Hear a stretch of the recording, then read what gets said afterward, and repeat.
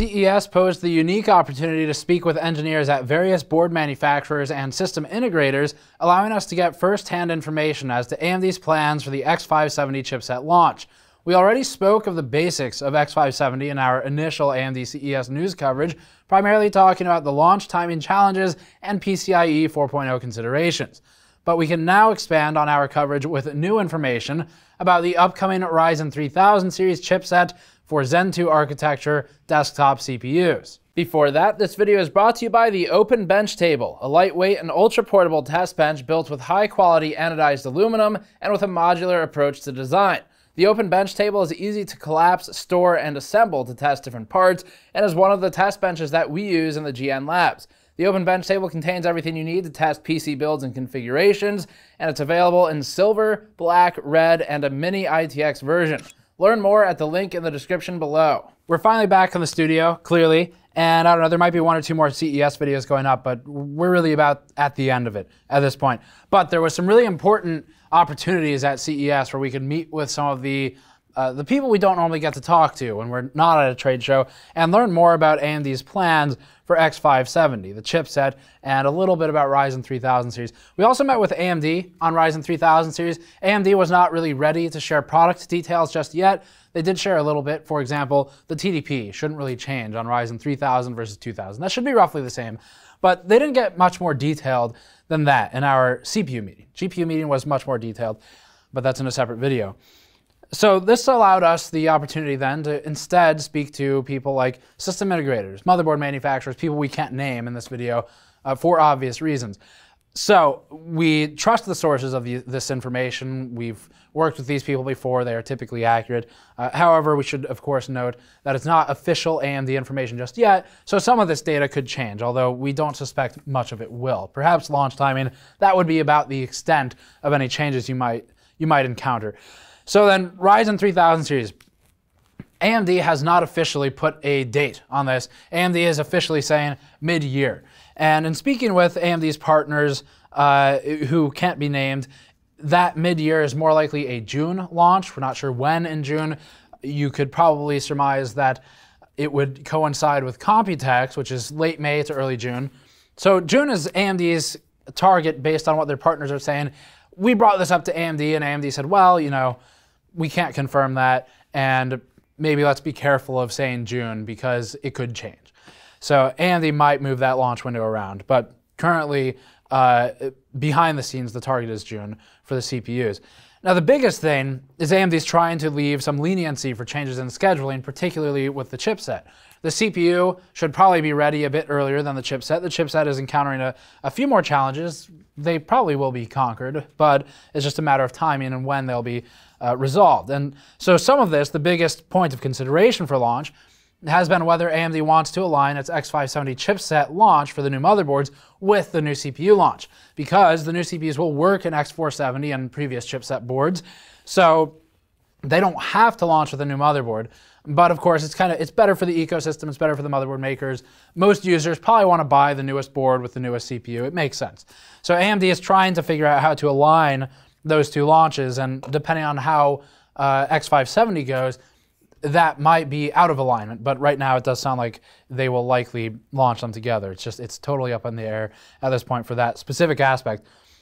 So despite the fact that the new CPUs will work with the motherboards previously released, X570 will carry with it some updates. And that's what we have information on for you today. So this information uh, a good amount of it was contained in the first video, the news video talking about Radeon 7, but some of it's brand new here. We obtained this from contacts very close to product development, and we've vetted them uh, between other contacts close to product development. So this should be pretty accurate. The previous AMD chipsets were made by ASMedia, AS Media, ASMedia, and these introduced some early challenges in development for the 1000 series CPUs. They were all pretty much resolved as time went on, but ASMedia did do a lot of the design work and uh, handled sourcing fabrication of the chipsets. It is a, a silicon part ultimately.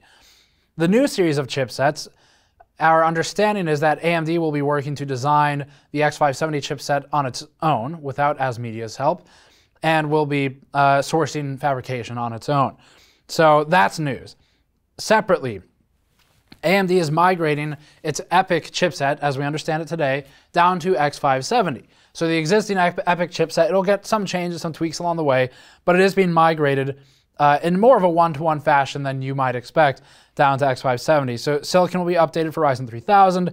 The X570 chipsets should run at about 15 watts, which is a, a significant change in raw numbers, but not a significant change in cooling or anything like that.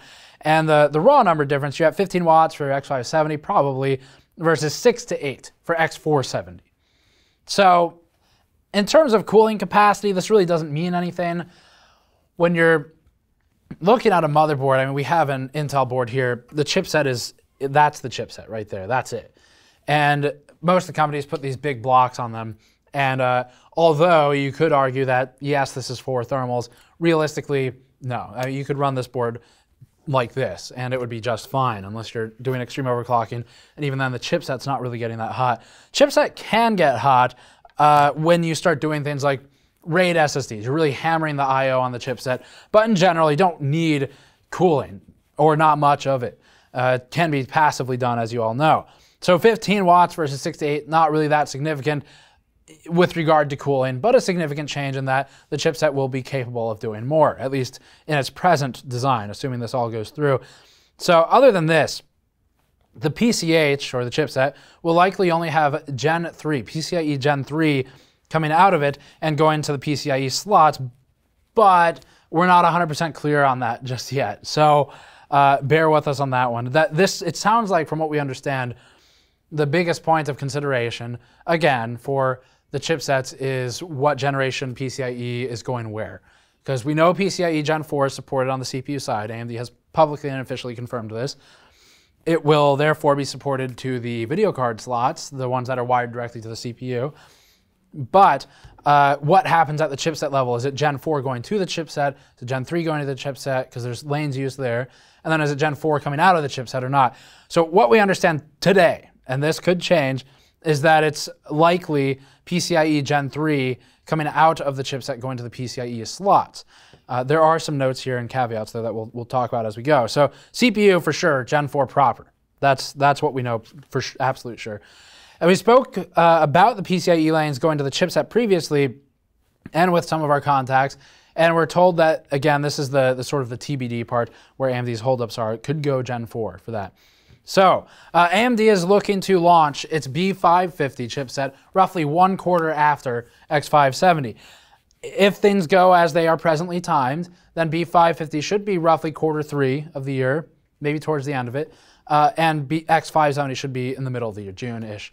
So depending on uh, how much of a delay there is, if there is one, B550 one quarter after that. X570's timeline is currently up in the air. Ryzen 3000 should be June readiness, but not necessarily launch. And the launch, again, will depend on the strategy. So as for the significance of PCIe Gen 4, you might likely realize that video cards today don't exceed PCIe Gen 3 bandwidth on a by 16 slot. So there's a few places this is useful. One of them is running with fewer lanes. So you could, for example, go down, it's, it's about 2x the bandwidth, it's about two times the amount of bandwidth uh, with Gen 4 versus Gen 3. So you could then go down to, say, by 8 instead of by 16 to achieve the same maximum throughput potential, uh, although the device is ultimately the bottleneck, generally not the interface. And doing this allows you to reserve more of those lanes for other things. So you have more video cards in some platforms. You could have uh, more RAID SSDs in, uh, in other platforms. It just depends on how they're all wired. But uh, and, and in that scenario, with regard to SSDs, depends on what happens at a chipset level too. Is it Gen 3, Gen 4? But uh, that's the main advantage is you don't need as many lanes to achieve the same throughput. Another advantage, SSDs can become limited with the current Gen 3 interface with by 4 setups. So this will allow a solution to that where you can now develop faster SSDs or at least put fast SSDs on a faster interface. So that's useful. But otherwise, increased bandwidth is uh, is just useful for reducing the lane requirement to achieve the same thing, at least until new higher end devices come out. Because dual 2080 Ti's, for example, only really exceed PCIe bandwidth when they're not connected with a bridge. As long as there's a bridge there, you're fine. Uh, AMD should be a bit more interesting because they don't. AMD doesn't use bridges, um, at least not on the present GPUs that are out today. So that's uh, there's your notes on Gen 4 and its usefulness and it's where it's not useful, which would be just a single video card, for example, unless you really want by 8 for some reason. But what are you using the other lanes for then? Just to recap what we already reported as well in the initial news video, if you didn't see it or you've forgotten, we expect that some motherboard manufacturers may enable backwards compatibility for PCIe Gen 4 on existing X470 or similar motherboards. There are two angles to this here. So one of them, with a BIOS update and with a Ryzen 3000 series CPU that would be required, X470 could theoretically support PCIe Gen 4. And the biggest challenge is existing pins, traces, the endpoints could kind of need some modifications electrically, but the bandwidth is there. It can handle the throughput. You just need the CPU to do it.